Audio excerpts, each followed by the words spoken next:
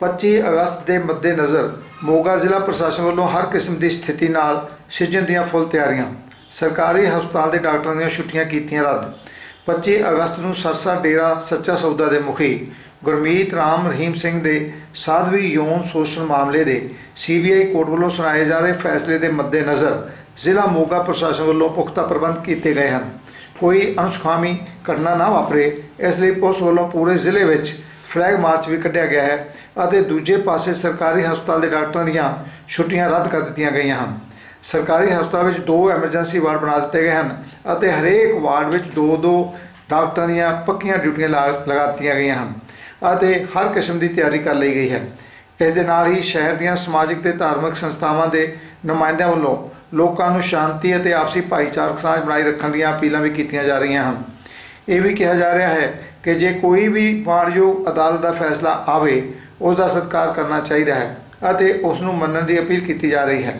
ਆਗੂਆਂ ਵੱਲੋਂ ਇਹ ਵੀ ਕਿਹਾ ਜਾ ਰਿਹਾ ਹੈ ਕਿ ਕਿਸੇ ਵੀ ਕਿਸਮ ਦਾ ਨੁਕਸਾਨ ਹੁੰਦਾ ਹੈ, ਉਹ ਅਸੀਂ ਲੋਕ ਆਪਣਾ ਹੀ ਨੁਕਸਾਨ ਕਰ ਰਹੇ ਹੁੰਦੇ ਹਾਂ।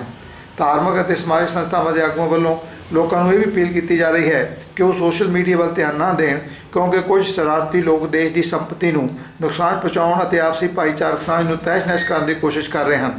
ਉਹ ਇਹ ਵੀ ਕਹਿ ਰਹੇ ਹਨ ਕਿ ਕੋਈ ਵੀ ਧਰਮ ਆਪਸ ਵਿੱਚ ਵੈਰ ਰੱਖਣਾ ਨਹੀਂ ਸਿਖਾਉਂਦਾ। ਇਸ ਲਈ ਮਾਣਯੋਗ ਅਦਾਲਤ ਦੇ ਫੈਸਲੇ ਦਾ ਸਤਿਕਾਰ ਕਰਨਾ ਚਾਹੀਦਾ ਹੈ। ਪੰਜਾਬ ਗਲੋਬਲ ਲਈ ਮੌਕਾ ਤੋਂ ਅਮਰਜੀਤ ਬਬਰੀ ਦੇ ਨਾਲ ਜੋਗਿੰਦਰ ਸਿੰਘ।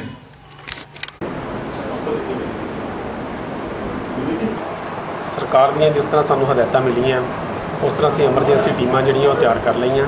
ਡਾਕਟਰਸ ਦੀ, ਸਟਾਫਸ ਦੀ, ਵਾਰਡ ਸਰਵੈਂਟ ਡਰਾਈਵਰ, ਐਂਬੂਲੈਂਸ ਵਗੈਰਾ ਸਾਰੀ ਤਿਆਰੀ ਹੈ ਔਰ ਸਾਡਾ ਟਰਾਮਾ ਵਾਰਡ ਇਸ ਲਈ ਪੂਰੀ ਤਰ੍ਹਾਂ ਤਿਆਰ ਹੈ। ਔਰ ਸਾਡੀ ਐਮਰਜੈਂਸੀ ਜਿਹੜੀ ਆ ਉਹਦੇ ਨੂੰ ਚੇਚੇ ਤੌਰ ਤੇ ਆਪਾਂ ਜਿਹੜਾ ਦੋ ਦੋ ਮੈਡੀਕਲ ਆਫੀਸਰ ਜਿਹੜੇ ਆ ਇੱਕ ਔਨ ਕਾਲ ਡਿਊਟੀ ਰਹੇਗਾ ਇੱਕ ਨਾਲ ਉਹ ਡਿਊਟੀ ਪ੍ਰੋਪਰ ਕਰੇਗਾ। ਔਰ ਦੂਸਰਾ ਕਿਸੇ ਵੀ ਜੇ ਕੋਈ ਅਨਹੋਣੀ ਘਟਨਾ ਹੁੰਦੀ ਹੈ ਤੇ ਸਾਡੇ ਹਸਪੀਟਲ ਵੱਲੋਂ ਜੋ ਸਰਕਾਰ ਦੀਆਂ ਹਦਾਇਤਾਂ ਉਸ ਮੁਤਾਬਕ ਪੂਰੀ ਤਿਆਰੀ ਕੀਤੀ ਗਈ ਹੈ। ਸਾਡੀਆਂ ਐਂਬੂਲੈਂਸ ਜਿਹੜੀਆਂ ਇਸ ਕੰਮ ਲਈ ਪੂਰੀਆਂ ਤਿਆਰ ਸਰਕਾਰ ਦੀ ਹਦਾਇਤ ਹੈ ਉਸ ਮੁਤਾਬਕ ਅਸੀਂ 31 ਤੱਕ ਕਿਸੇ ਵੀ ਤਰ੍ਹਾਂ ਦੀ ਕਰਮਚਾਰੀ ਜਾਂ ਅਧਿਕਾਰੀ ਨੂੰ ਛੁੱਟੀ ਲੈਣ ਤੋਂ ਜਿਹੜਾ ਉਹ ਮਨਾ ਕਰਤਾ ਹੈ ਔਰ ਆਪਣਾ ਕੋਈ ਵੀ ਸਟੇਸ਼ਨ ਜਿਹੜਾ ਉਹ ਛੱਡ ਕੇ ਬਾਹਰ ਨਹੀਂ ਜਾਂਦਾ ਵਾਹਿਗੁਰੂ ਜੀ ਕਾ ਖਾਲਸਾ, ਸ੍ਰੀ ਵਾਹਿਗੁਰੂ ਜੀ ਕੀ ਫਤਿਹ। 25 ਤਰੀਕ ਨੂੰ ਜੋ ਸੀਬੀਆਈ ਵੱਲੋਂ ਸੱਚੇ ਸੌਦੇ ਦੇ ਸੱਚ ਹੱਕ 'ਚ ਜਾਂ ਨਾ ਹੱਕ 'ਚ ਜੋ ਫੈਸਲਾ ਆ ਰਿਹਾ ਹੈ, ਸਾਰਿਆਂ ਨੂੰ ਬੇਨਤੀ ਕਰਦੇ ਆਂ ਵੀ ਉਹਦਾ ਜੋ ਫੈਸਲਾ ਸਰਕਾਰ ਦਾ ਹੈਗਾ, ਕੋਰਟ ਦਾ ਹੈਗਾ, ਅਸੀਂ ਉਹਨੂੰ ਤਹਿ ਦਿਲੋਂ ਉਹਦਾ ਸਤਿਕਾਰ ਕਰਾਂਗੇ। ਬਾਕੀ ਸਾਰੇ ਧਰਮ ਸਾਰੇ ਬਰਾਬਰ ਦੇ ਹਨ, ਕਿਸੇ ਧਰਮ ਦਾ ਕੋਈ ਅਸੀਂ ਨਿੰਦਿਆ ਨਹੀਂ ਕਰਦੇ। ਸਾਰੇ ਧਰਮ ਸਤਿਕਾਰਯੋਗ ਹੈ। ਅਸੀਂ ਸਾਰਿਆਂ ਨੂੰ ਬੇਨਤੀ ਕਰਦੇ ਹਾਂ ਆਵੇ ਜੀ ਸਦ ਭਾਵਨਾ ਬਣਾਈ ਰੱਖੀਣ ਸਾਰਿਆਂ ਦਾ ਇੱਕੋ ਜਿਹਾ ਸਤਿਕਾਰ ਹੋਵੇ।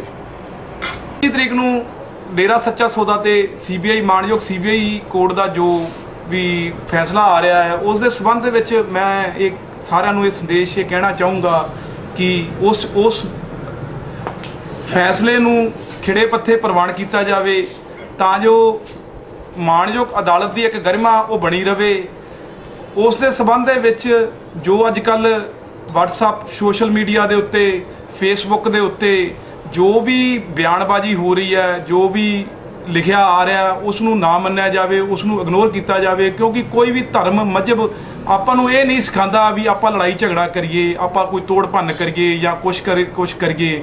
ਇਸ ਕਰਕੇ ਮੇਰੀ ਸਾਰੇ ਸ਼ਹਿਰ ਨਿਵਾਸੀਆਂ ਨੂੰ ਅਪੀਲ ਹੈ ਵੀ ਜੋ ਵੀ ਇਸ ਸਬੰਧ ਦੇ ਵਿੱਚ ਸਾਰੀ ਸਾਧ ਸੰਗਤ ਨੂੰ ਵੀ ਦਾ ਜੋ ਵੀ ਇਸ ਸਬੰਧ ਦੇ ਵਿੱਚ ਮਾਣਯੋਗ ਸੀਬੀਆਈ ਅਦਾਲਤ ਦਾ ਫੈਸਲਾ ਆਂਦਾ ਉਸ ਨੂੰ ਖਿੜੇ ਪੱਤੇ ਪ੍ਰਵਾਨ ਕੀਤਾ ਜਾਵੇ ਤੇ ਅਫਵਾਹਾਂ ਤੋਂ ਬਚਿਆ ਜਾਵੇ। ਉਹ ਜਿਹੜਾ ਵੀ ਕੋਰਟ ਦਾ ਫੈਸਲਾ, ਚਾਹੇ ਹਿੰਦੂ, ਸਿੱਖ, ਮੁਸਲਮਾਨ, ਕੋਈ ਵੀ ਭਾਈਚਾਰਾ, ਉਹਨੂੰ ਮੰਨਣਾ ਪੈਣਾ, ਕਿਉਂਕਿ ਸਰਵਉੱਚ ਕੋਰਟ ਜਿਹੜੀ ਫੈਸਲਾ ਕਰੂਗੀ, ਬਹੁਤ ਸੋਚ ਸਮਝ ਕੇ ਕਰੂਗੀ।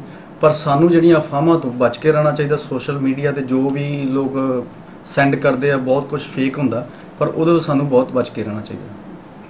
ਭਾਈਚਾਰੇ ਸਾਂਝ ਦੇਖੋ ਜੀ, ਸਾਰੇ ਧਰਮ ਹਿੰਦੁਸਤਾਨ 'ਚ ਬੜੇ ਪਿਆਰ ਨਾਲ ਵਸਦੇ ਆ। ਉਹਨਾਂ ਦਾ ਸਤਿਕਾਰ ਕਰਨਾ ਚਾਹੀਦਾ, ਕਿਸੇ ਦੇ ਪਿੱਛੇ ਲੱਗ ਕੇ ਕਿਸੇ ਦਾ ਨੁਕਸਾਨ ਨਹੀਂ ਕਰਨਾ ਚਾਹੀਦਾ। ਜੋ ਵੀ ਸਰਕਾਰੀ ਮਸ਼ੀਨਰੀ ਆ ਜਾਂ ਕਿਸੇ ਦਾ ਨੁਕਸਾਨ ਕਰਾਂਗੇ, ਉਹ ਟੈਕਸ ਦੇ ਰੂਪ 'ਚ ਆਪਣੇ ਤੇ ਹੀ ਕੱਲ੍ਹ ਪੈਣਾ। ਲੋਕਾਂ ਨੂੰ ਅਪੀਲ ਕੀਤੀ ਜਾਂਦੀ ਹੈ ਕਿ ਤੁਸੀਂ ਸਾਰੇ ਭਾਈਚਾਰਾ ਪਿਆਰ ਨਾਲ ਰਹੋ ਔਰ ਪਿਆਰ ਨਾਲ ਹੀ ਰਹਿਣਾ ਚਾਹੀਦਾ। ਵਾਹਿਗੁਰੂ ਜੀ ਕਾ ਖਾਲਸਾ, ਵਾਹਿਗੁਰੂ ਜੀ ਕੀ ਫਤਿਹ। ਜੋ ਕਿ ਅਦਾਲਤ ਆ, ਸਾਰਿਆਂ ਲਈ ਸਰਵਉੱਚ ਹੈ। ਅਦਾਲਤਾਂ ਦੇ ਜੋ ਫੈਸਲੇ ਆ ਉਹ ਹਰ ਇੱਕ ਮਨੁੱਖ ਨੂੰ ਖੜੇ ਮੱਥੇ ਮੰਨਣੇ ਚਾਹੀਦੇ ਆ। ਤਾਂ ਧਰਮ ਹੈ। ਹਰ ਇੱਕ ਧਰਮ ਇੱਕ ਦੂਜੇ ਨੂੰ ਪਿਆਰ ਕਰਨਾ ਸਿਖਾਉਂਦਾ ਨਾ ਕਿ ਕਿਸੇ ਨਾਲ ਈਰਖਾ, ਦਵੈਤ ਜਾਂ ਉਹ ਚਾਹੁੰਦਾ ਵੀ ਇੱਕ ਦੂਜੇ 'ਚ ਲੜਾਈ ਝੜਗੇ ਜਾਂ ਨੁਕਸਾਨ ਹੋਵੇ। ਕਿਉਂਕਿ ਸਾਡਾ ਦੇਸ਼ ਹੈ, ਜਿਹੜੇ ਦੇਸ਼ ਅਸੀਂ ਭਾਰਤ ਦੇਸ਼ 'ਚ ਰਹਿ ਰਹੇ ਹਾਂ। ਸਾਡੀ ਜਿਹੜੀ ਇੱਥੋਂ ਦੀ ਜਾਇਦਾਦ ਆ, ਸਾਡੀ ਸਰਕਾਰੀ ਜਾਇਦਾਦ ਵੀ ਸਾਡੀ ਸੰਪਤੀ ਹੈ। ਸਾਡੇ ਟੈਕਸਾਂ ਦੇ ਨਾਲ ਉਹ ਸੰਪਤੀ ਬਣਦੀ ਹੈ। ਸੋ ਮੈਂ ਤਾਂ ਸਾਰੇ ਵੀਰਾਂ ਨੂੰ ਇਹ ਅਪੀਲ ਕਰੂੰਗਾ ਵੀ ਆਪਸੀ ਭਾਈਚਾਰਾ ਬਣਾਉਂਦੇ ਹੋਏ ਆਪਾਂ ਆਪਣੀ ਭਾਈਚਾਰਤਾ ਦਾ, ਇਕਸਾਰਤਾ ਦਾ ਸਬੂਤ ਦੇਣਾ ਕਿਸੇ ਕਿਸਮ ਦੀ ਘਬਰਾਹਟ 'ਚ ਨਹੀਂ ਆਉਣਾ।